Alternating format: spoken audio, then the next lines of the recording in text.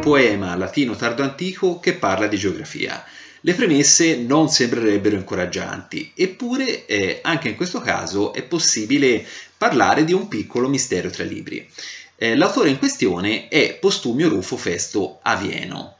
Eh, è di Bolsena, proviene da una famiglia molto agiata di Bolsena e eh, scrive, siamo nel IV secolo d.C., alcuni poemetti di ambito astronomico e geografico. Quello che ci interessa eh, si chiama Ora Maritima, le coste.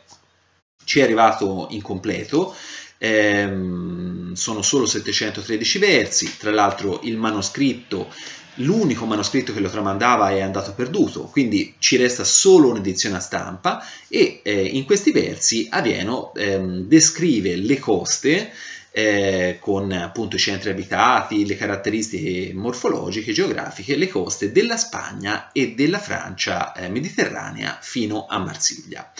Perché risulta particolarmente interessante? Bene, Avieno eh, per scrivere la sua opera ha accesso eh, ad autori precedenti, eh, greci, eh, alcuni dei quali molto antichi, eh, del VI-V secolo a.C., che per noi sono andati perduti. E proprio attingendo a questi autori ehm, che ci sfuggono, eh, che Avieno è in grado di parlare di una città mitica, misteriosa, la città di Tartesso, una città ubicata nel sud della Spagna, vicino, si dice, sembra all'attuale Cadice, e che in epoca molto antica era sede di un regno molto importante, molto ricco, al centro di traffici, di metalli e di merci varie, che è un regno che spicca in maniera quasi favolosa eh, per la sua potenza e per la sua avanzatissima civiltà. Un regno che scompare, a un certo punto scompare e eh, non lascia nessuna traccia.